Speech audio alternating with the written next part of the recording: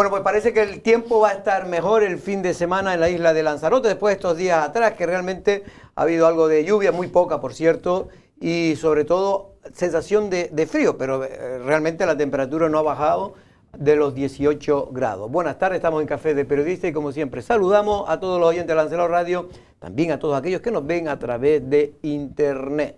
Bueno, don Pedro Martín, buenas tardes. Jorge, ¿qué tal? Buenas ya tardes. se han quitado las restricciones a partir de mañana a las 12 de la, de la noche. Sí, a las cero horas de hoy, eh, de hoy para mañana, eh, esto parece que sí es la nueva normalidad, ¿no? Eh, ya evidentemente puede usted todavía... fumar tranquilamente Sí. en las terrazas con sus amigos cuando Sí, se ¿verdad? echando una cervecita. Sí, sí, puedo hacer casi de todo, ¿no? Como se hacía antes, e incluso, la pena que los médicos no me dejen. Pero, eh, por Pero bueno, tú a veces, puede- a veces le haces poquito de caso. Eh, le hago más o menos el mismo caso que le sueles hacer tú, Jorge. Pero bueno, Vamos a saludar eh, a- déjame, déjame terminar Ah, lo que estaba ya, diciendo, ¿quieres porque haciéndote el gracioso al final. eh, a ver, lo que quiero decir es que esto sí parece que es la nueva normalidad que anunciaba Pedro Sánchez en su momento. Vamos a ver si esto lo respeta y parece que, que dentro de dos semanas dentro se calcula que aproximadamente se puedan quitar las mascarillas y se pueda ver, de verdad volver a la, a la normalidad que vivíamos antes, que creo que vivíamos bastante bien. Pues en efecto, ya se puede celebrar verbena, ya se puede fumar en, la, en las terrazas. En definitiva, Usoa, buenas tardes, bienvenida. Hola, ¿qué tal? Buenas tardes a todos. Lo que dice Pedro, a excepción de la mascarilla, que todavía es obligatoria en, en el interior de los, en fin, de los locales, porque eso es una normativa estatal, no autonómica. Sí, bueno, pero de todos modos la estructura de la vigilancia eh, con respecto a la incidencia que pueda tener el COVID, porque no ha desaparecido al 100%, todavía sigue habiendo infectados, si es verdad que a lo mejor no tienen que hacer las cuarentenas como las conocíamos anteriormente, o el nivel de propagación del virus no es tan poderoso, etcétera. Pero esas estructuras de vigilancia de la incidencia del COVID van a continuar y ya está anticipándose el gobierno de Canarias, poniéndose la tirita antes de la herida, anunciando que se volverá las restricciones en aquellas islas en las que esa incidencia pues consideren que está por encima de las expectativas. Pero sí es verdad que la ministra de Sanidad lo que ha dicho, y me parece muy lógico, aquí lo veníamos diciendo y proponiendo desde hace mucho tiempo, es que ya no debe de mirarse tanto para subir o no de niveles, no debe mir- mirarse tanto el nivel de contagio, que ya no tiene esa importancia, como el nivel de la presión hospitalaria que produzcan esos contagios. ¿Me Pero ya se cambió hace tiempo. Por eso, ahora, si, y ahora mismo, por ejemplo, eh, el- en Lanzarote hay 10 personas en planta que tienen la sintomatología del. COVID, Sí, están afectados afectados, COVID. y además hay una persona que sigue en, en- en- en la UCI. Pero estamos en lo que se considera eh, situación controlada de- del COVID, en, esto, en estos nuevos semáforos o niveles que, de, de riesgo que va a poner eh, la sanidad pública en Lanzarote. Bueno, en cualquier caso, yo creo que es una muy buena noticia y como digo, ayer parece que hemos vuelto a la normalidad y parece que no ha pasado nada. No hemos olvidado ya de esos dos años donde la isla se paralizó, todo el país se paralizó, yo diría que todo el mundo se paralizó durante un tiempo eh, Yo- nunca yo visto creo que también- en la historia de, de este Ayer país. es que estaba yo también cuando hiciste esa, esa reflexión. Yo creo que es que se han sumado nuevas preocupaciones. Por eso ya no le estamos dando tanta importancia, porque hemos estado con los, a lo mejor con los, esos niveles de COVID y no, no eran tan lazas o prácticamente eh, sí habían restricciones, no como ahora que prácticamente se dan por terminadas. Hasta el día 30 de abril, por cierto, Sí. hasta una nueva revisión. Pero es que son tantas preocupaciones juntas que yo creo que el gobierno ha optado por. El gobierno de Canarias y el gobierno central ha optado por decir: miren, vamos a quitar todas las restricciones y vamos a ver cómo, cómo escapamos de esta situación tan comprometida Pero en fíjate, aspectos. eh, Pedro, qué oportuno el alcalde de Yaiza, ¿no? Eh, que sabe además, yo creo que medir muy bien los ritmos, que justo va a celebrar Playa Blanca su carnaval en este fin de semana sin restricciones. Entonces esto le viene de fábula porque a lo largo de estas semanas atrás siempre hemos dicho va a haber una incidencia mayor del COVID y efectivamente algunos medios de comunicación ya estaban puntualizando que se había notado una incidencia de la celebración de los carnavales de Arrecife en esas estadísticas semanales. Ahora mismo, eh, Oscar Noda no tendrá a lo mejor esa presión y se podrán celebrar unos carnavales eh, pues, post pandemia. Bueno, por cierto, que el tema de La Palma, que no hemos olvidado también, es otra de las cosas que fue muy recurrente para todos los medios de comunicación y cuando se apagó el volcán, hace ya, pues, cuando, dos meses por ahí, ¿no? Más o menos. Pues ciertamente poco se habla ya en los medios de comunicación, el problema sigue teniéndolo los palmeros, pero en cualquier caso, lo que ayer se detectó, 60 pequeños movimientos sísmicos, no, no, no supieron los dos grados de, de la escala Richter, pero sí es cierto que son movimientos sísmicos, según dice Involcán, eh, que se deben más a las cuestiones de los gases que desprende cuando se enfría, eh, cuando se enfría el, magma que está en el interior a 11, 12 kilómetros de profundidad. Y, y, y, entonces, claro, no solo se va reajustando, que también, sino que además al enfriarse ese magma suelta unos gases y esos gases, claro, al, acumularse, eh, pues provoca esos pequeños movimientos sísmicos, pero no indican para nada que vaya a haber una nueva erupción, en este caso en la isla de La Palma, en la cumbre vieja, en este caso, ¿no? Eh, por cierto, que hoy hubo un pleno en el Cabildo, muchos temas se trataron.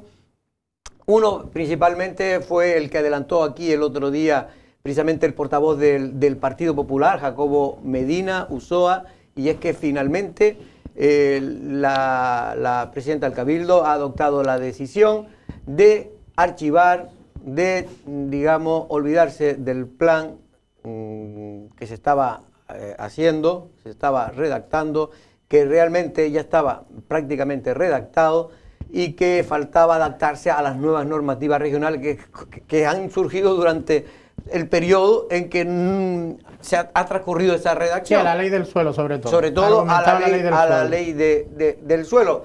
Lo cierto es que la consecuencia, más allá que uno lo trate de ocultar, la presidenta y tal, la consecuencia para la isla de Lanzarote, para todos los lanzaroteños, es que este fracaso político, y no voy a decir de los partidos, de, un partido más que otro, porque no nos, no nos interesa, la consecuencia para todos los lanzaroteños es que un plan que tenía que haberse renovado hace ya 10, 11 años, de hecho empezó en 2007, se hizo la contratación eh, de ese... De ese en 2007. 2007 de la nueva redacción. Después creo que empezaron en 2008 el equipo de Esquiaga que ganó el concurso a realizarlo. Bueno, pues de 2008 hasta ahora se han hecho centenares de reuniones, de entrevistas, de trabajo con sectores, el sector primario, el sector... Pero es que hay que recordar, perdóname que te interrumpa, pero es importante, yo creo que la fecha que en octubre del 2019 ya vencía ese contrato, se dejó un margen importante al equipo de Esquiaga del 2007 al 2019 para concluir todo el tema de la tramitación, negociación, ajuste y adaptación del PIOL. Y como ha sido imposible, en su momento se tuvo que retomar, acuérdate, el contrato con el Partido Socialista. Se inició con el Partido Socialista, se tuteló y se lideró con el Partido Socialista y se deja en el cajón con el Partido Socialista. Es que es, alucinante, Es alucinante, la gente no entiende nada. Y mire, y se puede echar la culpa a Pedro Sanguiné. Pedro Sanguiné evidentemente tiene culpa, es responsable porque en 10 años no logró, no pudo conseguir sacarlo adelante. Es verdad que la, Pedro Sanguiné era evidente que tenía ganas de, sacarlo.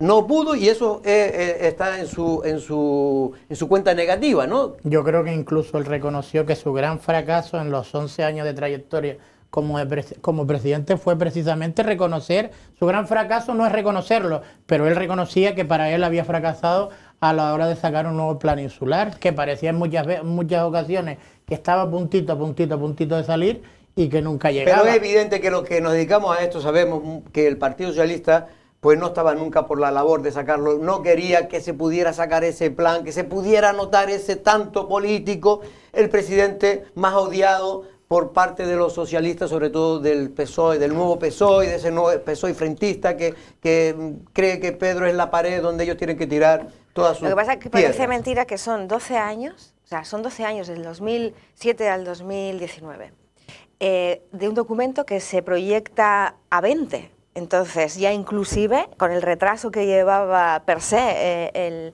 la, tramitación y la aprobación, eh, ya nos estábamos volviendo a quedar atrás, volviendo a ser de esa nostalgia de isla referente, a ser una isla enquilosada en sus problemas políticos y urbanísticos ya conocidos. a mí me parece increíble que el equipo de Esquiaga yo me pongo en su piel y pienso, ¿tanto trabajo para qué? Para que caiga en saco roto, porque nada de lo que se proyectó va a tener un encaje en el futuro, porque eso ya es viejo, o sea, es que eso ya ha quedado, eh, digamos, sin efecto. Pero lo que dicen los expertos es que si hubiera voluntad política se podía ver desde el inicio, cuando cogió Dolores Corujo la presidencia, ¿eh? si quería realmente sacarlo adelante, que fue una de, en su discurso, recuerdo yo que fue una de sus prioridades, sacar el planeamiento mm. insular.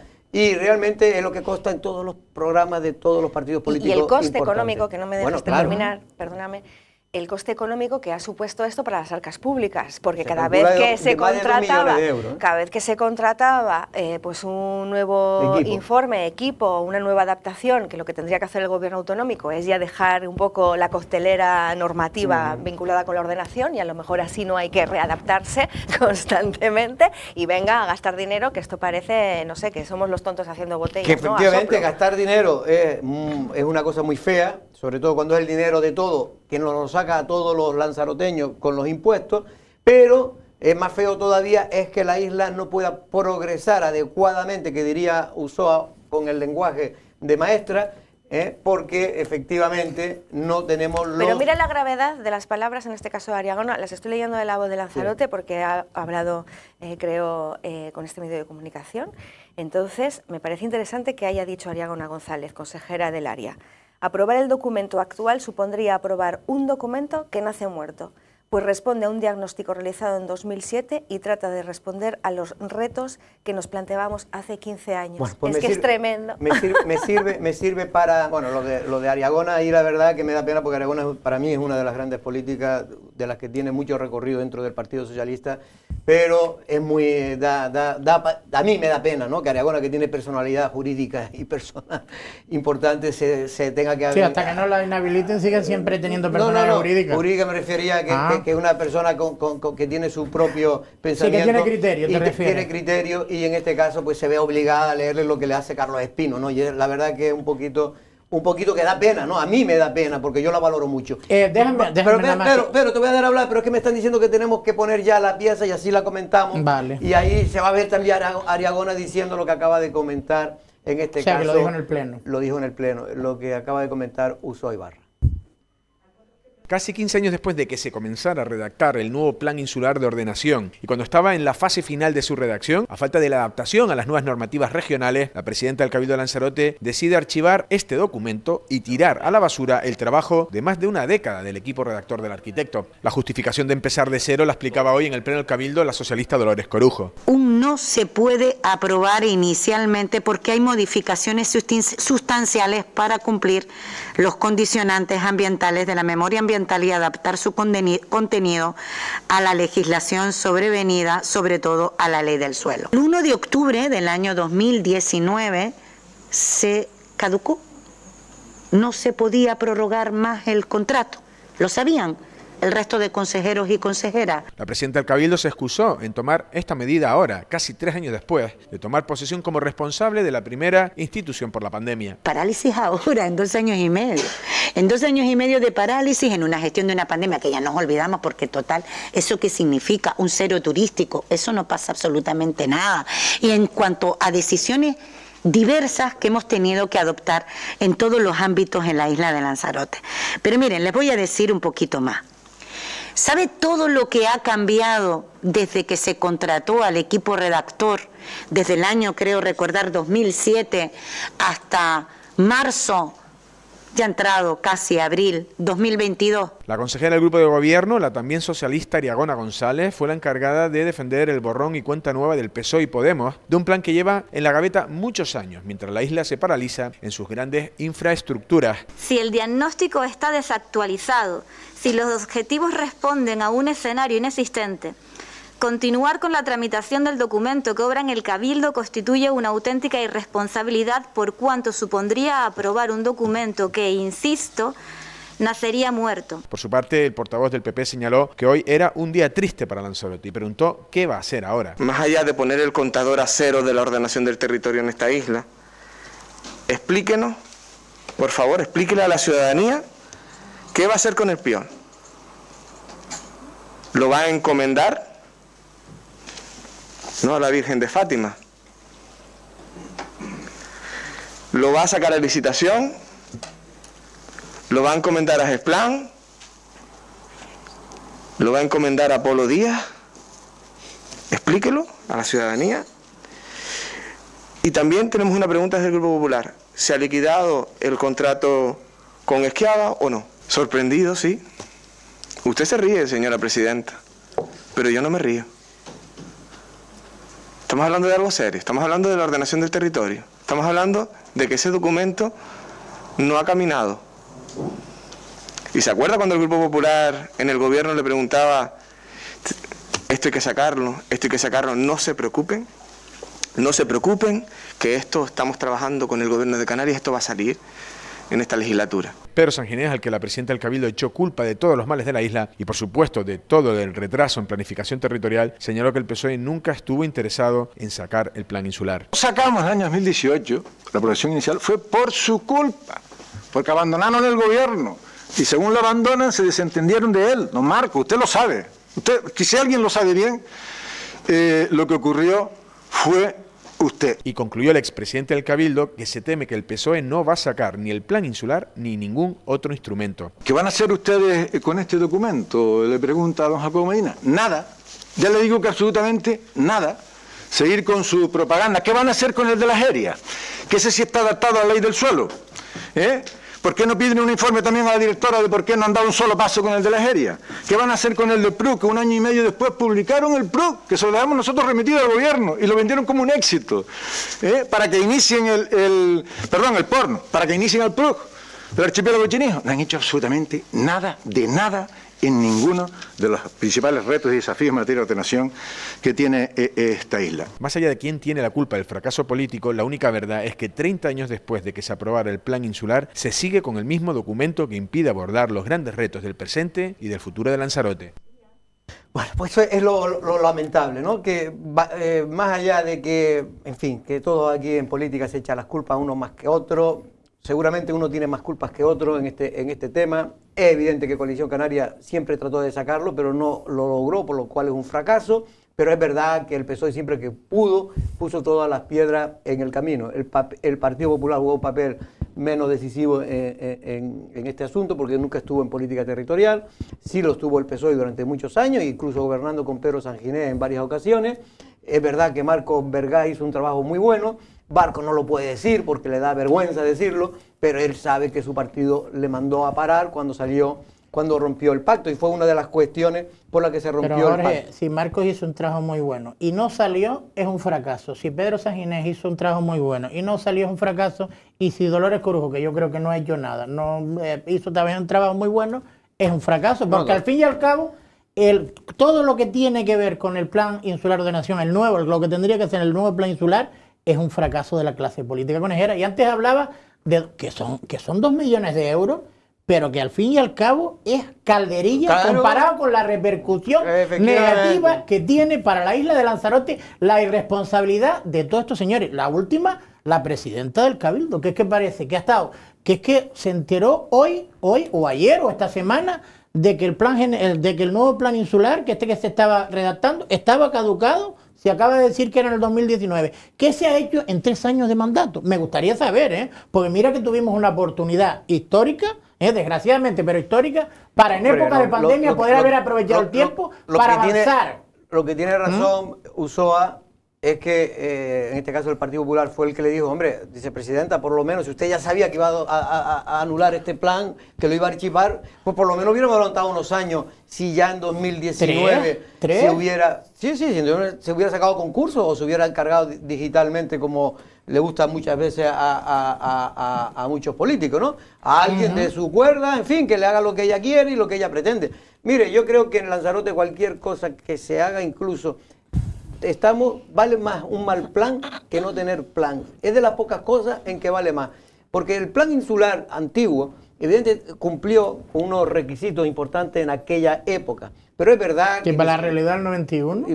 pero es verdad que se ocupó más del tema turístico, se abandonó el mm. campo, no se ayudó, no se puso incentivo, porque es verdad que el problema en aquel momento no era el campo, el problema en aquel momento era la contención del territorio, del crecimiento, ¿no?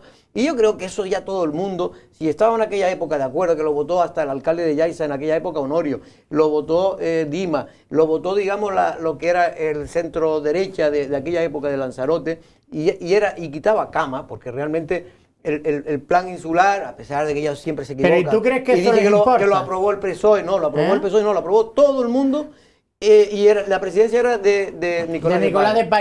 pero tú crees que les importa, al fin, que, que todos lo dicen, ¿eh? Pero tú crees que, por ejemplo, con el discurso del Partido Socialista, ¿qué problema había cuando estabas antes hablando del plan general, del plan insular, este que trabajó mucho Marco Vergá, cuando el Partido Socialista, este, el mismo, ¿eh? con la misma secretaria general y con muchos de los consejeros que están ahí, estaban gobernando con Pedro Sainés, recordemos que se apostaba en el plan de Esquiaga por la desclasificación de camas ¿Tú lo viste avanzar algo? Dejaron que caducara, porque si esto caducó en el 2019, es porque estos señores lo dejaron caducar, porque es que aquí parece que la culpa es de, no sé, del que pasa por delante el cabildo caminando. A mí la verdad es que me genera un hastío mayúsculo que voy a decir muy poco, voy a ser súper breve. Te lo agradezco. No, no, es que no se merecen más, de verdad. O sea, no sé, ignorarles en este caso es como lo más justo eh, para la situación. A mí que me digan, que no haces tu trabajo, que tu trabajo es tramitar, ordenar, gestionar, y no lo haces por una actitud responsable, es que ya, para mí, eh, mm, ya me estás diciendo todo, ¿no? Porque si tú desde hace unos cuantos años, desde el 2019, cuando se rompe el pacto con eh, Coalición Canaria, decides establecer una huelga de brazos caídos con respecto al PIOL, ahora estamos en el 2022, no me vengas vendiéndome una moto que ya de por sí tú te has encargado de quitarle las ruedas. O sea, porque es que entonces me ofendes, me ofendes de verdad. Y luego eh, quería comentar, em, ¿qué va a pasar ahora? O sea, la idea cuál va a ser. sabe, no, no lo digo, que yo, sepa, el tiempo que escuché, al menos no lo dijo, no sé si... Pero, lo, y diga lo que diga, no es tiempo para nada. Es verdad que en una entrevista, no, en 12 meses no puede, lo más que puede sacar es el contratar al equipo de... Entonces, vamos a seguir, y perdónenme, porque a lo mejor estas palabras como el otro día que dije que Arrecife me parecía una basura o una mierda, quiero disculparme porque yo me considero arrecifeña y del puerto. Tengo mi hipoteca, mi casa y mi residencia en Arrecife. Y por lo tanto, yo lucho por la ciudad que habito yo habito y sufro Arrecife. Por eso también me puedo permitir a veces la ligereza de hablar también lo dijiste, todo mundo con este tono, pero me disculpo. Te entendió todo el mundo que te salió del corazón. exactamente, me salió, me salió del corazón. bueno, del estómago. pero eh, quiero disculparme. De hecho, hay gente que me dijo, dice, ¿qué le pasa a Usoa? Porque usted tiene como una niña, en fin, bastante educada como para... Bueno, porque ella es un hastío, es un hastío tal Que, que me salió así. Pero me disculpo. Y eh, me voy a disculpar por lo siguiente que voy a decir. Entonces, como no sabemos lo que, como no sabemos lo que va a ocurrir a partir de ahora con el no piol, me temo que volveremos otra vez a desenterrar a una persona que murió hace 100 años, hace un siglo, para poder sacar pecho. Qué tristeza más grande. No tengo más que decir. Bueno, pues muy bien, ya vamos a terminar con este asunto. ¿quién se murió hace? Porque yo me quedo con, César, el, César Manrique. ¿100 años? ¿100 años se murió? No, hace menos. Bueno, murió hace 100 años, que tiene 100 años. Que, tendría hoy 101 años o 102 años. Bueno, eh, para terminar con este asunto del asunto del plan insular, efectivamente la pregunta que hizo, no sé si fuiste tú o Usoa, ¿qué va a pasar ahora? ¿Se va a encargar? ¿Se va Lo hiciste tú, Usoa. Bueno, pues yo lo que oí es que todavía no se sabe. Lo que dijo aquí la presidenta en una de las últimas entrevistas que yo le hice es que se estaba, que fue cuando saltó, saltaron las alarmas y yo aquí avancé después, posteriormente, que el plan se iba a archivar, efectivamente se ha archivado.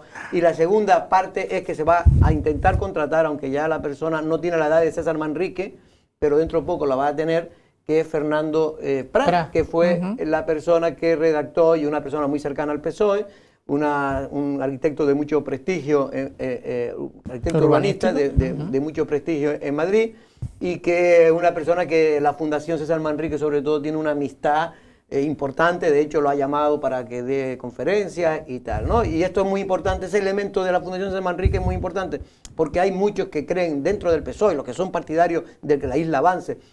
Por cierto, me gustaría que Dolores Corujo, Dolores Corujo que critica a aquellos que defendemos el desarrollo moderno de Lanzarote, que es una cosa curiosa, ¿no? Pero que lea el discurso que dio su homónimo, en este caso, mm, secretario general del Partido Socialista en Fuerteventura, el señor mm, Blas, Blas Acosta. Acosta, en su toma de posesión otra vez en el Congreso, que fue elegido de nuevo secretario general del Partido Socialista.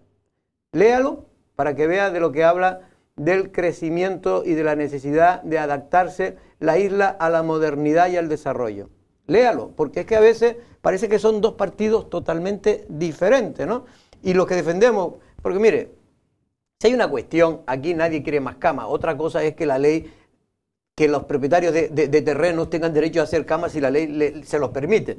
Pero evidentemente, todo lo que sea quitar camas, todo lo que sea hacer construcciones de buena calidad, pero no solo las construcciones de buena calidad privada, también de carretera, hacer buenas carreteras, que estemos en el, nivel europeo de carretera, no en el nivel que tenemos aquí al lado del continente africano.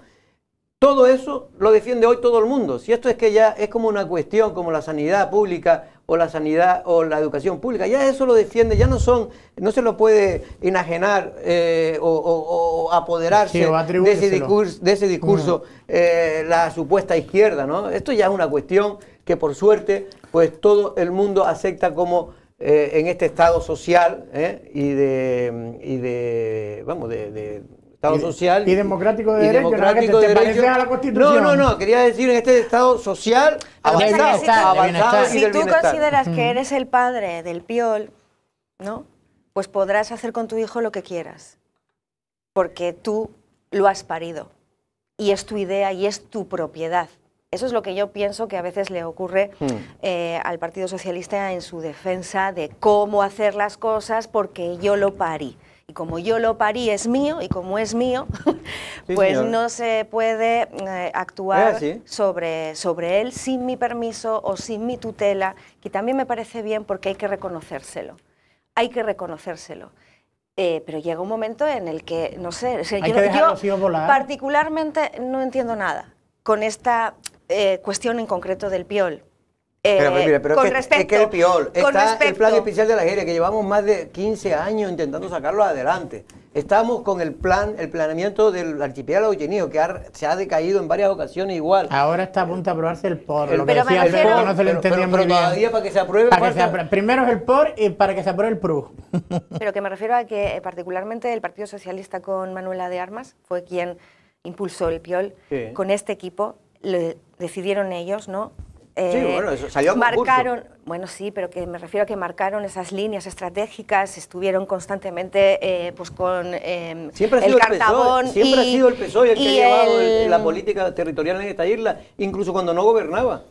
Vale, de todas ¿puedo maneras, me parece, me parece muy curioso no el termino. tema de la contención. Hablábamos, recordábamos antes la intención que tenían eh, cuando estaba Pedro Saginés en la última etapa, con Marco Vergas de consejero de política territorial, tenían la intención de amortizar camas, o sea, reducir camas a cambio de el mejor, eh, de cambiarlas por de, de mayor calidad, vamos a decir, económica, ¿no? Desde el punto de vista. Y cuando estamos viviendo ahora la etapa de Dolores Corujo, que lo más que se ha visto es la construcción de un mega, y, tenía licencia, ¿eh? Nadie, nada que objetar, pero sí es verdad que se otorgó a través del famoso Yudaya y ahora estamos viendo un macro hotel construyéndose en Playa Blanca, a mí por lo menos personalmente, desde el punto de vista estético, no me gusta. Y después el otro día también vimos la- la- el otorgamiento de una licencia por parte del, del gobierno de, de Canarias de otro nuevo hotel. Así Bueno, que, pero- hombre, a ver si se explica, a ver, o, o no queremos camas o queremos más camas, pero yo creo que deberían tener un poquito más de coherencia. Y sobre Bueno. todo que el problema, como bien decías antes, Jorge,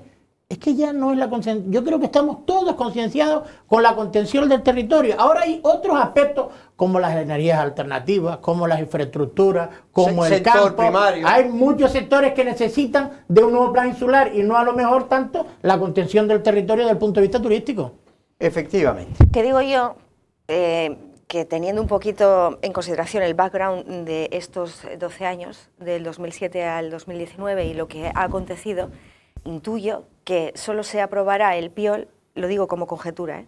una hipótesis, eh, cuando gobierne en solitario, es decir, con mayoría absoluta el Partido Socialista durante un mínimo de 10 años. en esas circunstancias es la única forma, si no, no saldrá Si tiene que cogobernar con otra formación política, el PIOL nunca saldrá adelante porque hemos dicho que como ellos lo, parieron, ellos decidirán sobre su futuro y su Pues se tiene que dar algo que no ha pasado pues, históricamente Pues yo creo que, mira, a mí me da mucha pena porque creo que muchos confiábamos en que Dolores Corujo no se iba a dejar intoxicar por ese es el mensaje regresista que tiene, o acción política regresista que tiene una parte del Partido Socialista, porque considera que esto es bueno para ellos a la hora de, convencer un cierto electorado, ¿no? Pero eh, digo, porque se está poniendo ella misma la, la, ¿cómo se llama? Las, ahora no sale la palabra. Las esposas. Las esposas, porque mm, sin plan insular, mm, las grandes infraestructuras, esas grandes inversiones que ella anunció, iba a hacerse a principio de legislatura, dijo que era la, iba a ser la legislatura de las grandes inversiones. le falta y la de Recife. Le falta 12 meses. le falta 12 meses para terminar la legislatura, doña Dolores. Y muy difícil es que lo que no ha hecho en tres años lo pueda hacer en 12 meses, cuando incluso hay grandes proyectos que todavía no se sabe cuál es la decisión adoptada, como por ejemplo el soterramiento de Playa Honda. Todavía nadie sabe exactamente cuál es la decisión y si la han adoptado, al menos no la han comunicado. No tenemos... Dijo nada más que una cosa, también dijo que iba a ser la, legislatura de la, de la transparencia y de la dignificación de la, de la primera corporación y creo que está la penúltima en transparencia, la penúltima. Bueno. Vamos, vamos eh, dos minutos a publicidad y vamos ahora a hablar también de urbanismo, de arrecife, de planes, de planeamiento, de BIC, con la arquitecta, en este caso una arquitecta conocida que fue presidenta también del Colegio de Aparejadores. Ahora mismo la presentamos.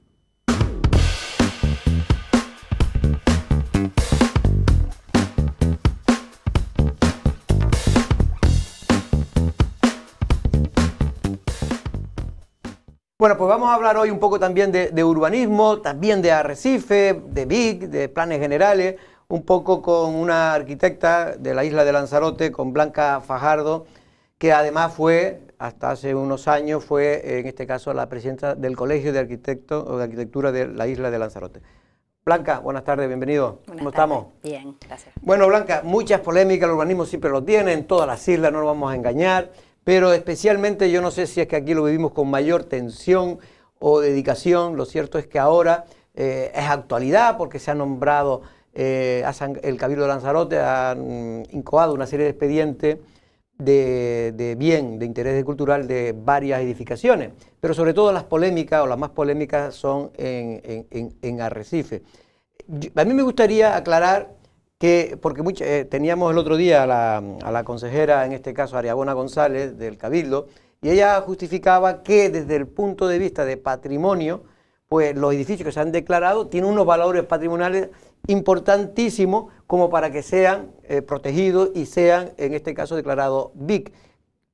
A mí me surge la duda, cualquier figura, cualquier edificio, porque sea viejo o tenga una historia, digamos, de, de, años eh, construido, eh, merece la figura de Vic o, hay unos conceptos determinados? Bueno, realmente del tema del que estamos hablando, la declaración, la ecuación de un expediente de Vic, no es exactamente urbanismo. Desde luego es arquitectura sin ninguna duda, pero no es urbanismo. En cualquier caso, la declaración de Vic, eh, la, tener la categoría de Vic, vamos a decirlo en positivo, porque es un, es un apellido, ¿no? el ser un BIC, un bien de interés cultural, eh, lo establece y lo define la ley de patrimonio. No sé qué artículos me parece que lo estuve mirando, 25, mm. algo así de la ley. Son edificios que tienen que tener, eh, pueden ser edificios, pueden ser un puente, puede ser una, salina, puede ser eh, cualquier elemento que tenga un valor histórico de singular relevancia. Tienen que ser edificios, en este caso edificios, porque estamos hablando de edificaciones, que tengan una singular relevancia en nuestra eh, arquitectura, en la arquitectura insular o en la historia insular. Eh, tiene que tener un valor incluso de cara a todo el archipiélago, ¿no? Porque si no, hay otras figuras de protección menores, como son las municipales, y, las insulares, ¿no? No es, no es lo, estás aplicando, realmente lo que estás aplicando tú son conceptos urbanísticos de municipal, insular. La competencia para redactar los catálogos es una competencia municipal. todos los municipios, y también eh, la isla, deben tener un catálogo y corresponde a diferentes instituciones, dependiendo del alcance, el tenerlo redactado y actualizado. Eso sería lo correcto. En el caso de Arrecife, Arrecife tiene un documento en adaptación básica del año 2004, ahí tenía un catálogo, tiene un catálogo incluso del año 70 y 69, mm. redactado, elaborado por Eduardo Cáceres, un catedrático de la Escuela de Las Palmas, muy importante, arquitecto, eh, y tiene un catálogo que tiene, creo que pocos elementos, o que fueron algunos, ahí ya me pierdo si mm. fueron eliminándose, pero tiene un catálogo no actualizado del año 2004. Después eh, aprobó otro catálogo. Entonces, eh, lo que la ley de patrimonio dice es que hay una serie de niveles en los que tiene que ser analizado un bien y dependiendo de su valor patrimonial, desde el punto de vista patrimonial, tiene el nivel más alto, que es el BIC, que son los castillos, por mm. ejemplo, las mm. iglesias son todas BIC y todos los castillos. después tienes protección integral, que son edificios de una relevancia singular, eh, tiene un valor patrimonial más alto, después ya el nivel más normal, eh, tienes integral, parcial o ambiental. Y ese es el que se le debe dar en el catálogo. Cuando el catálogo, eh, después la declaración de BIC la pueden coar también otras administraciones, no el ayuntamiento con su catálogo, que es lo que se ha hecho en este caso. Y el, bueno, en el caso de, Lanzarote, pero en concreto de, Arrecife, es evidente que no hay que ser arquitecta para saber que el, que el patrimonio realmente se ha conservado muy mal en, nuestra isla y aquí mm. estamos viendo casos, ¿no? Mm. Este, por ejemplo, creo que es el, si no me equivoco, sí, el que está enfrente del parque, mm. del parador, para entenderlo, eh, que está en un estado ya, pues sí, esa casa una casa modernista preciosa, sí. Que además tiene ese alicatado, un clásico del Luego tenemos la Plaza de la Iglesia, que realmente está en unas condiciones lamentables. Yo la última vez que te vi, te vi por ahí precisamente. Ah, Dios. Y efectivamente daba pena. Más abajo. Estamos viendo otra, que, eh, es la, antigua mm, casa cuartel de la Guardia Civil de Arrecife. la plazuela. Estamos viendo. Realmente yo sé que, tú que eres muy conservacionista y, en fin, y hay que conservar pero realmente uno cuando ve este tipo de edificio ve que tiene difícil salvación, al menos desde el punto de vista de la inversión privada, ¿no? Porque es muy costoso, ¿no? Restaurar. Sí, es muy, costoso. Muy costoso. En, una rehabilitación cuesta pues, el doble que una obra nueva. El doble. Rehabilitar el doble como mínimo que la obra nueva, porque lógicamente hay que actuar con unos criterios, primero con unos cuidados, con un cuidado determinado, y pero además con unos criterios constructivos de materiales de una calidad que evidentemente es mucho más costoso que una obra nueva.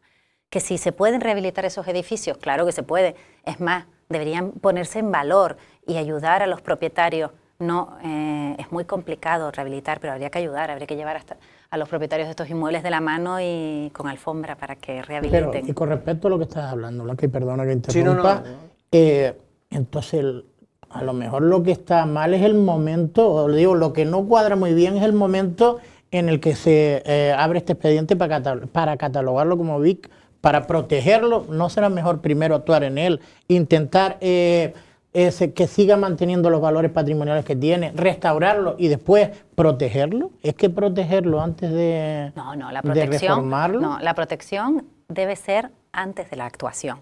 Otra cosa es analizar, no conozco en el alto nivel, digo. En cualquier nivel. La protección debe ir primero. Se debe analizar el bien y después se protege. Pero se debe analizar con criterios objetivos de cuáles son los valores reales de ese bien. En ese caso, en ese análisis deben intervenir, por supuesto, eh, historiadores y arquitectos. En ese análisis, que es un análisis técnico de los valores reales de un bien para ser protegido. Y la protección de un bien no significa que no se pueda actuar sobre él. Es importante en, la en este caso, el nivel más alto de la incoación de un BIC, es importante que se definan en el documento de incoación, eh, cuando se incoa, que se definen las actuaciones permitidas. Y no solo eso, sino el área de afección. O sea, realmente es un documento con un gran alcance.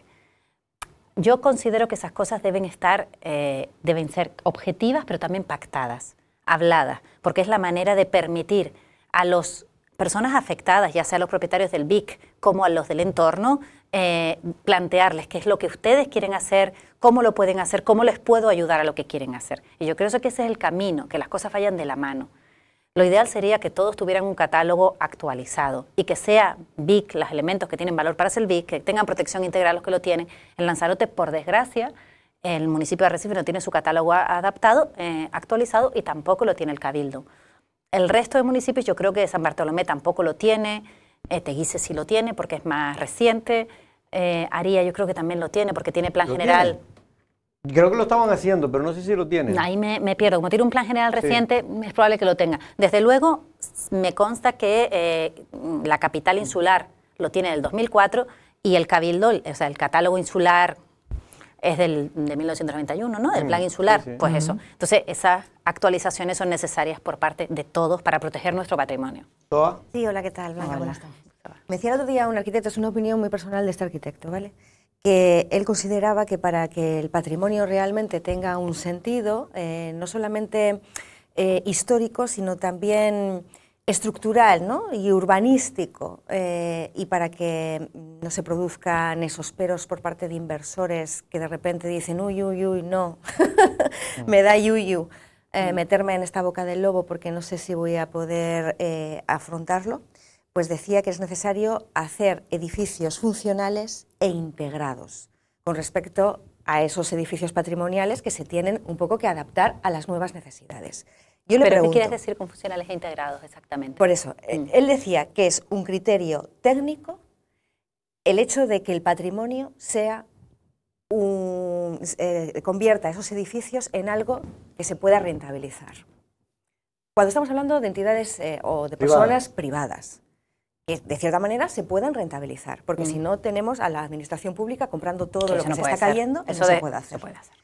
Entonces, esta era la opinión de mi compañero que quiero eh, compartirla con usted, pero también preguntarle, ya que usted además acaba de decir es un criterio, debería ser un criterio técnico y no una oficina politizada de patrimonio. Eso no lo he dicho yo, yo he dicho que tiene que ser un criterio técnico. Por Él- eso o no lo, no lo he dicho yo. Pero insisto, en Vegeta, Triana Vegeta, se creó una comisión técnica en la que estaban técnicos cualificados, vecinos, empresarios y luego los representantes políticos de la administración. Pero así es como se constituyó, digamos, un ente para caminar de la mano un poco en la línea de lo que usted acaba de definir. Pero le pregunto, ¿es un criterio técnico vanguardista u obsoleto hacer una declaración BIC sobre un inmueble de un particular? La, la declaración de BIC va por encima de quién sea el titular del bien. BIC, eh, el BIC tiene mucho alcance, o sea, va mucho más allá de, va, por supuesto, se tiene que fundar en el valor patrimonial real del inmueble. Y no estoy diciendo con esto que los tres encuados no lo tengan, ¿eh? No entro a eso, digo que tiene que fundarse en eso. Después, eh, tiene connotaciones muchísimo más allá de los usos que se pueden hacer, del interés público sobre el bien, lo famoso de los BIC que tienes la posibilidad de entrar todo, una vez la gente tiene que tener la posibilidad de, de verlo, de conocerlo, tiene ayudas fiscales, solo por ser BIC ya tienes unas ayudas fiscales, bueno, tienen una implicación mucho más allá. Entonces, eh, estoy totalmente de acuerdo con ese primer punto que has dicho de que la, la protección del patrimonio, yo soy lagunera, yo lo he dicho muchas veces, y vivo en Teguise, o sea, más metida en el patrimonio que mi origen y, mi, y donde vivo, pues está claro que estoy, vivo esto en mi, en mi día a día. Eh, realmente los edificios te tiene que poder actuar sobre él, porque no, lo que es tremendo a la hora de intervenir, y eso son posiciones diferentes de los que intervenimos en patrimonio, y es también subjetiva, es que se quiere hacer una foto fija, fija de un momento histórico que no se sabe cuál es. Entonces, eh, hay que permitir que los usos, que los edificios catalogados, sea el nivel que sea la catalogación, mucho más difícil decir esto en un BIC, es mucho más fácil decirlo con una protección parcial, se adapten a una forma de vida actual. Eso es lógico. Y a los usos. Y además hay que ayudar a que, y eso es muy importante, por ejemplo, tener un plan especial. ¿Existe algo parecido a esa comisión técnica, por ejemplo, que se Es constituyó que lo que en tú me has dicho de Vegeta? Triana lo dice la ley y es una y lo tiene Arrecife. ¿Existe? Sí, En sí, Arrecife, sí. pero en el Sí, pero no- su, la- su función no es redactar el, el catálogo.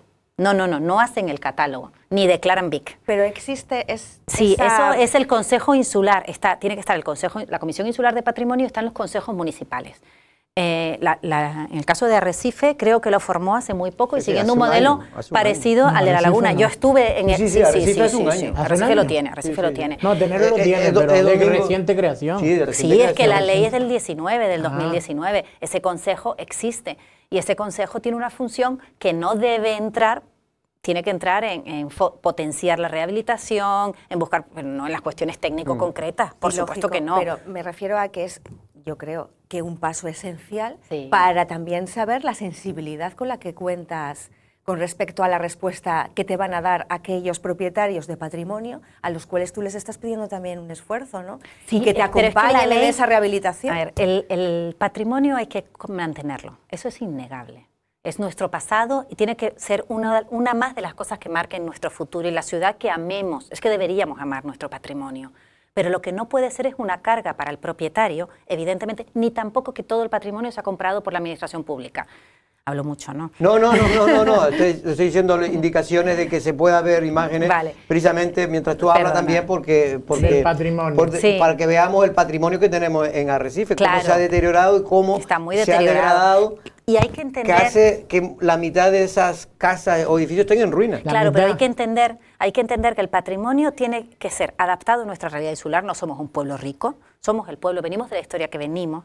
Eh, tiene que estar adaptado a nuestra historia, pero también mirando hacia nuestro futuro. Y por eso la importancia de los usos. Y por eso es importante que no sea todo comprado por la administración pública. No porque la administración no se gaste O las el entidades dinero. bancarias, ¿eh? que no nos olvidemos Claro. que muchos de esos edificios se han convertido en oficinas para sacar dinero. Claro, no, pero y- o, o en, ma- o en tiendas, ¿no? O en en Zara, tiendas. en Madrid, ¿no? Es un ejemplo. Pero es importante que no solo sea que no sea público, porque no sea la administración que se gaste el dinero en eso, que me parece un uso loable, sino porque la ciudad tiene que estar viva. Y esos edificios tienen que poder ser casas, tienen que poder ser viviendas y pueden pasar como el pasa en la laguna, que cojas y lo dividas en seis viviendas, porque es la manera de que una superficie de 600 metros pueda ser convertida en ocho. Y para eso hay que poner un núcleo de escalera, hay que poder actuar y hay que buscar equilibrios. Y declarar BIC, en este caso, eh, en el caso concreto ahora del Cabildo, declarar BIC una serie de edificios en Arrecife, ¿beneficia para la recuperación del patrimonio o realmente lo que ayer teníamos aquí a un representante de la propiedad, de, en este caso del Del edificio, Hotel Oriental. el No. antiguo Hotel Oriental, y decía que, que ellos lo que quieren es recuperar, ese, eh, tal y como está, Mm. todo lo que se pueda, toda la fachada se va a respetar, eh, incluso toda la estructura de dentro que pudieran, pero evidentemente dice que necesitan hacer una serie de reformas porque si no el edificio, porque por el estado que está el edificio, ¿no? A ver, Está claro que lo ideal, y eh, para los arquitectos cuando trabajamos en patrimonio, eh, es ir de la mano con la unidad de patrimonio y tener una relación fluida y poder buscar soluciones. Eso es lo ideal y eso es lo que todos queremos. Y también es lo que quiere el Cabildo, me consta, seguro. Lo que pasa, es cierto que desde que hay una declaración de BIC, es que BIC es muy importante. Entonces, que hay una declaración de BIC que está diciendo que esta pieza es excepcional. Y en una pieza excepcional es muy difícil hacer ciertas actuaciones. Algunas se pueden, y yo creo que la línea es la de búsqueda de acuerdo. Que, haya un, que se ha declarado BIC no significa que no puedas llegar a acuerdo, pero es evidente que tanto a la propia administración insular como a la propiedad y a la administración municipal les dificulta mucho más el dar esa licencia o llegar a esos acuerdos, porque la propia ley establece de forma muy clara las actuaciones en BIC. Pero o sea, quedan más cerradas. Entonces, perdona, Pero se puede llegar a acuerdos, claro. Blanca, lo que falta entonces es pedagogía. Se dice que, porque ayer estaba precisamente el representante de la propiedad y estaba muy molesto con, con esta situación porque no entendía muy bien por qué no se le había informado. Si que tenían intenciones de catalogarlo o de abrir, de incoar este expediente como VIC, a día de hoy, cuando llevan luchando por esa licencia de hace un montón de años. Licencia que se le ha dado. Por eso entonces falta pedagogía. Faltan más cosas que pedagogía, porque falta, y no solo vamos a hablar de los BIC, sino falta en cuestiones de planeamiento y en muchas cosas y en las licencias, lo que falta es entender que, un, eh, que una, un expediente no se puede alargar 10 años, que una licencia no pueden ser dos, que una licencia en un edificio patrimonial no pueden ser cuatro, que una incoación de BIC se debe hacer sentándote con el propietario, que un plan ahora que van a hacer, por ejemplo, el de energía, que es estupendo, es necesario, pero es todo necesario ya. Que el plan insular no pueden ser 30, que el plan general no pueden ser 20, que San Bartolomé no tiene plan general adaptado. Eso es lo que pasa también. tenemos que ser muy conscientes de que a todos los niveles, y aquí no pongo un municipio más que otro, una administración más que otro, ni un responsable más que otro, que todos, el, el- no solo hay que tomar las decisiones, sino ojalá puedan ser consensuadas y ojalá puedan ser rápidas. ¿Y cree que la medida de- que ha adoptado, en este caso el Cabildo, lo podía haber adoptado otro, pero el Cabildo en este caso de, de- ha sido acertada para conservar el patrimonio o como algunos creen van a debilitar precisamente esa conservación? Yo no conozco los 13, eh, creo que son 13 los incoados. No conozco cuáles son. Conozco, porque lo he oído, el, hotel, el Hotel Oriental, ¿no? En la calle Real, y también no conozco el proyecto presentado, pero por lo que me han dicho las personas que he hablado, las personas que estaban, eh, los propietarios y, y el proyecto que hay, es un proyecto que mantenía y defendía los valores. No lo conozco. Si te digo que en este caso me toca a mí, que soy la arquitecta de la rehabilitación del mercadillo. Del Mercadillo también, y que un edificio estamos- muy importante. muy importante y que hemos presentado un proyecto y un proyecto que teníamos un, un bas- bastante consenso con, la, con, la- con Patrimonio. patrimonio, con la unidad de patrimonio, menos una cuestión de remonta y que ahora evidentemente hay una parte de esa actuación eh, que, queda, eh, que queda evidentemente imposibilitada, pero también estamos en la línea del consenso. Hombre, yo me hubiera gustado que hubiera sido posible hacer esto sin que se hubiera encuadrado el BIC. ¿Por qué? No porque yo no, yo creo que estos edificios tienen el nivel de protección integral. Para mí no tienen el nivel de BIC, para mí, pero yo no soy historiadora. Entonces, y tampoco he leído con exactitud los valores que han justificado que se ha encuadrado BIC, porque después digo, oye, sí los tiene. Me hubiera gustado que ya fuera VIC o ya que fuera protección integral, eh, se hubiera hecho de una manera la declaración cuando estaban los dos casos con proyectos sobre la mesa de una manera más consensuada, partiendo de que estamos bastante cercanos en la posición de cómo rehabilitar. ¿eh? Y el tema de las zonas de influencia, porque cuando se nombra un edificio BIC, se nombra, hay una especie de entorno ¿no? que tiene que ser protegido también, o al menos que tiene que pasar por, por, por, por la Oficina de Patrimonio para hacer cualquier tipo de reforma. La consejera Ariagona González decía que, eso no era verdad, que esto que, no se vaya a dejar a, un señor cambiar la ventana eh, de un edificio que ya está construido, pues que eso no es verdad, aunque esté en el entorno de un BIC. a ver, en el entorno de un BIC, la función de la declaración del entorno, de la delimitación del entorno, es la protección de la visión y de la protección del, del, bien. O sea, el bien lo protege y su entorno le pones una serie de condiciones para que no perturben la visión de ese elemento. Entonces, ahora la declaración, no conozco la declaración del Hotel Oriental, pero sí me he leído mm. detalladamente la del Mercadillo y tiene un área de afección eh, que eh, afecta a la fachada hacia la calle mm. Real mm, de un edificio, dos edificios hacia la izquierda y tres o cuatro hacia la derecha, ¿no? Y la calle trasera y otra más allá. Hombre, eh, me gustaría, y lo hablaré con el inspector, con la unidad de patrimonio de la, de la delimitación del entorno, a mí me parece eh, que entendiendo las declaraciones de entorno me parecen súper necesarias, muy necesarias cuando se protege un bien, pero también hay que ser realista. Eh, se, delimita, se limita a dos plantas la altura máxima en el entorno. Ahora mismo esos edificios pueden hacer, creo que son cuatro atrás y cinco a la calle Real. No sé si cuatro en todos los casos o cuatro y cinco, no me acuerdo pero bueno, que se le han disminuido en dos plantas la altura máxima. Entonces hay que ver las connotaciones, que son connotaciones desde el punto de vista urbanístico importantes, las connotaciones eh, desde el punto de vista de si el, edificio está en situación legal de consolidación o fuera de ordenación, ordenación, no, pero en situación legal de consolidación, son connotaciones económicas muy importantes. Pero, ¿puedes cambiar la carpintería? Sí, puedes cambiar la carpintería con un permiso, ya no es comunicación, o sea, con una licencia, no es una comunicación previa, licencia, y tiene que pasar por la Comisión de Patrimonio. O sea, es una cuestión de tiempos. ¿Y por qué entonces la gente, los que tienen el dinero, los inversores, los promotores, cada vez que nombran BIC una zona, huyen? ¿Por qué? es normal, ¿por qué? O sea, es normal. Porque el patrimonio en, no está, hay muchas medidas, o sea, hay, hay figuras para ayudar al que tiene realmente un edificio catalogado o que compra un edificio catalogado y se atreve. Pero la realidad es que es bastante subjetiva la inversión o sea, está, no, me imagino que una persona, yo no hago eso, pero cuando una mm. persona hace una inversión, calcula cuáles son los problemas que puede tener, cuándo va a rentabilizar, cuándo la va a poder, tiene un crédito, cuándo podrá recuperarlo. Y claro, si tienes cuatro años, un estudio económico. Si tienes cuatro años de licencia o tres años de licencia, eh, las tasaciones son mucho más bajas, muchísimo más bajas. Eh, en ese, en ese sol, si fuera un solar, podrías construir cuatro plantas y mm. ahora te tienes que quedar exactamente con lo que hay. No hay una rentabilidad del espacio porque las habitaciones son las que son y no las puedes cambiar de dimensión. Es muy difícil que puedas meter, introducir instalaciones. Eh, las actuaciones no pueden ser con una pintura normal, sino una pintura especial, morter. Muy caro, muy costoso, muy difícil. Adaptar al... Pero sin embargo no tienes excepciones a la hora de adaptarte a la accesibilidad. No tienes accesibilidad puede ser, no tienes excepciones para poner una peluquería.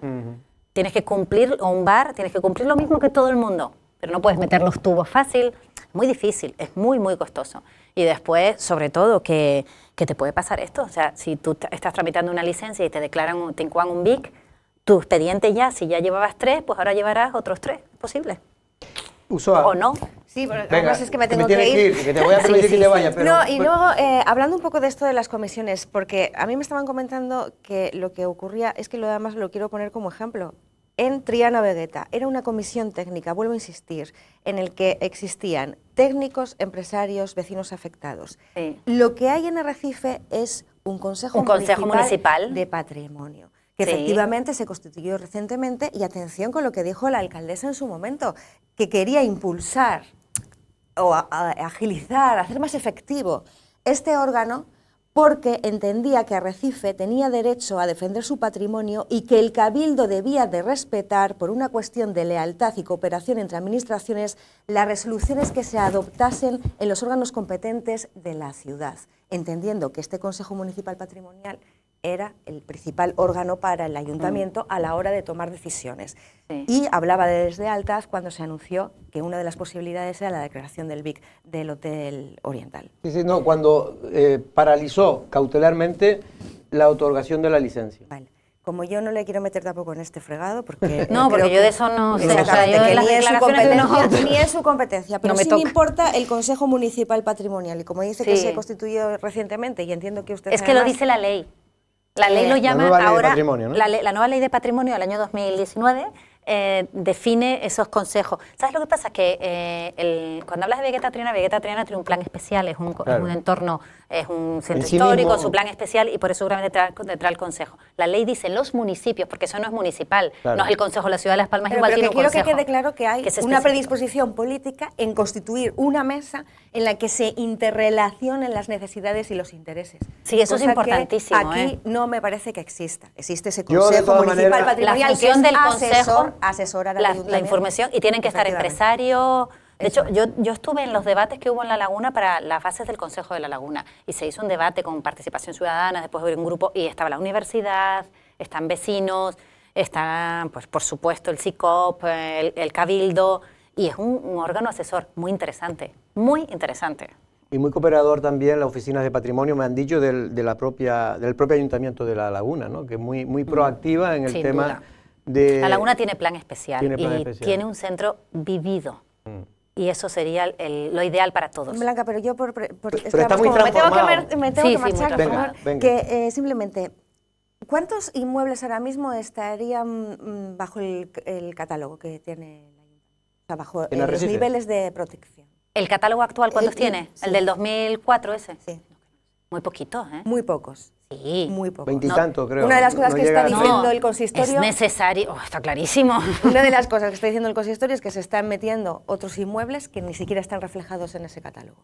Y luego, eh, yo puedo decir, quiero proteger, quiero proteger, pero si las personas que son propietarios de esos inmuebles me dan la espalda, ¿yo qué hago? Entonces, ¿a usted le consta cuál es el porcentaje de personas favorecidas por las circunstancias que tengan patrimonio urbano ahora mismo protegido, que quieran seguir No con la entiendo cuando dices favorecidas por esa circunstancia. No, favorecidas por esa entiendo. circunstancia porque en su momento sería una joya, pero ahora es lo que estamos viendo en esa Ah, situación. gente que un fueron- desastre. gente que Era fueron- ruina. Era ironía. Era ironía. ironía, Gente que fueron ricas, que ahora ya, Claro. pues, entre que ya No son de sé. familiares miles. Sí, esas cosas pasan, sí.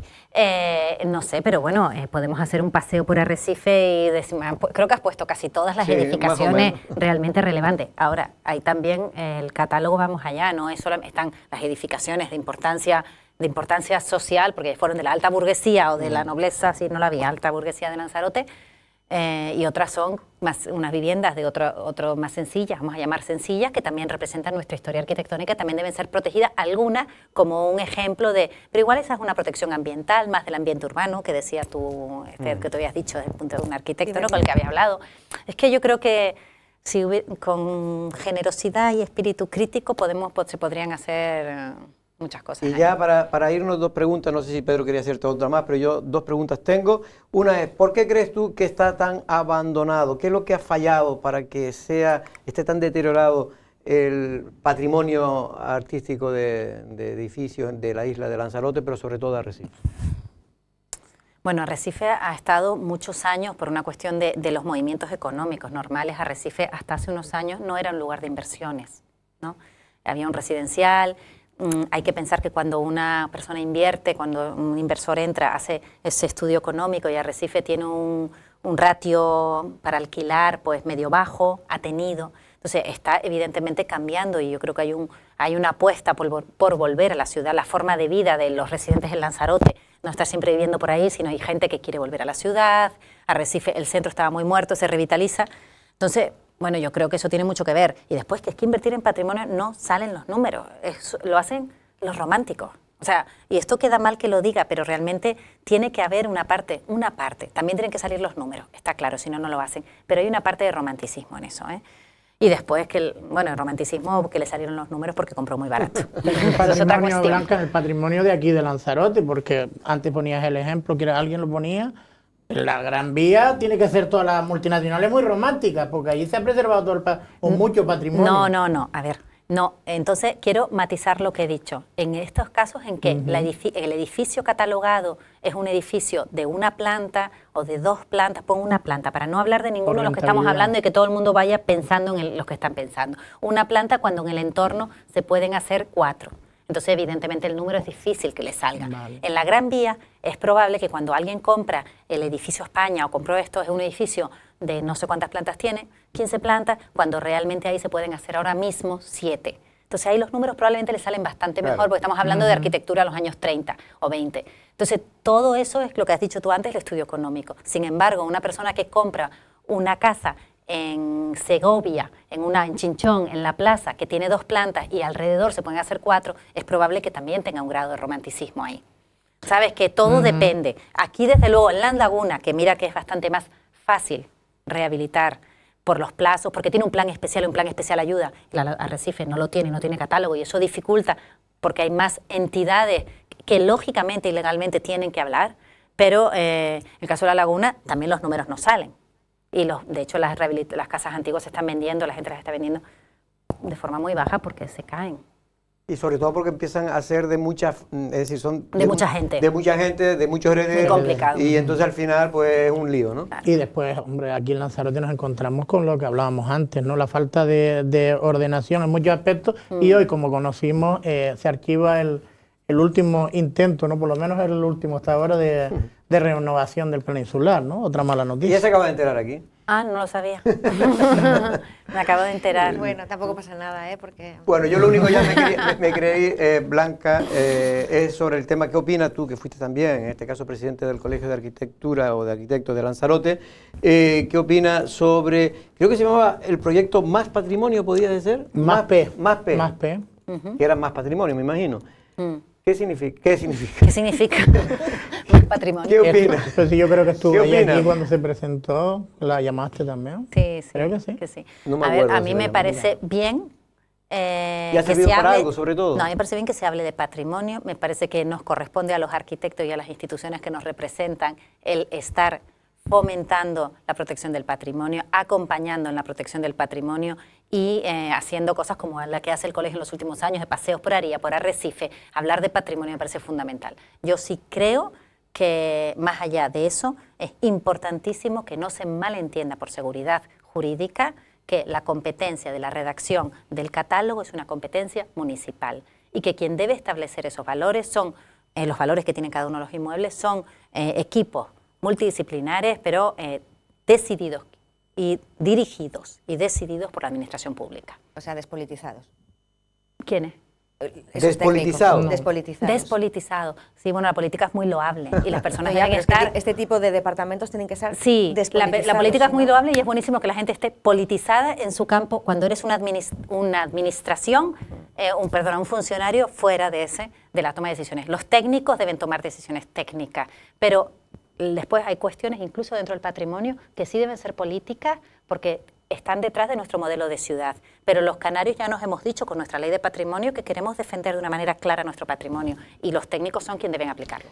Eso siempre. Eh, lo, que, es cierto, Blanca, que yo, pues la verdad que cuando nos presentaron ese proyecto el Colegio de, Arquitectos me pareció muy interesante. Es interesante. Y además, que como bien dices tú, que se hable y tal, pero creo que ha tenido poco, poco efectividad, al menos práctica en estos momentos. Bueno, se ha hablado, gracias a también, ha sido, fue un, no sé si la palabra es revulsivo, mm. pero sí ayudó a que se hable, que mucha gente hable de patrimonio con una fuerza y una importancia. Yo creo que eso ha estado muy bien, ¿eh? Pues yo creo que sí. Bueno, eh, precisamente tú también participaste, creo que no me quiero equivocar ahora, en, la restauración de la Casa Segarra, ¿no? ah, la hice yo, el proyecto es mío, sí. Sí, que se había partido en dos, ¿no? Sí, bueno, a, mí, a, mí, me hace gracia como era, pero sí. sí, el proyecto es mío, sí. Pues Blanca, mucha suerte. Y vamos a ver si entre todos podemos mejorar esta ciudad, que no lo veo fácil, sinceramente, por lo que eh, hablo con promotores y ven que, porque aquí, aunque tú esto a lo mejor no estabas aquí, estabas en la laguna, en los años 80, perdón, eh, finales de los 90, hubo una gran inversión en adquirir promotores turísticos sobre todo y creer en Arrecife. Pero a partir de ahí hubo como pegas, no se le daba ningún tipo de incentivo, eh, más bien se le ponía todo tipo de trabas, lo cierto es que se ha ido abandonando y muy pocas cosas se han hecho realmente de interés más allá, que no sé lo que te parece la casa, la librería Lazo, ¿no? que por lo menos se ha, se ha terminado de restaurar. Mira, yo hay un, me parece, de verdad que me parece Mm. valioso, valiente todo lo que se haga para rehabilitar el patrimonio, para ponerlo en uso y para dar vida a Mm. la ciudad de Recife. Por lo dicho, Blanca, un abrazo y Gracias. y muy, buenas tardes. Eh, Usoa, gracias, sé que te Eh, tenías sí, que haber ido ya. hace ya tiempo, pero sabes lo que pasa, el tiempo Bueno, a veces se alarga. semana a todos. Venga, don, Eh, hasta el lunes. don Pedro, muchas gracias. Nosotros en una amenaza, pero volvemos el lunes a la misma hora. Buenas tardes.